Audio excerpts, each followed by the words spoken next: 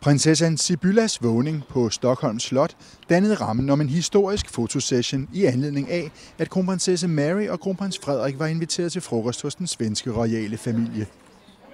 Gravide prinsesse Sofia, prins Daniel, kronprinsesse Mary, kong Carl Gustaf, dronning Silvia, kronprins Frederik, kronprinsesse Victoria og prins Carl Philip stillede op til fotografering inden frokosten.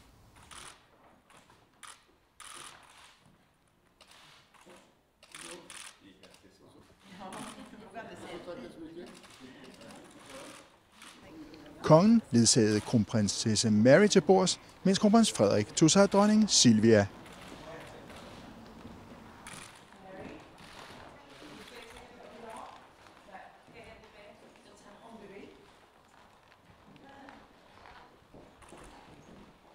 Billedbladet, Danmarks Royale Ugeblad.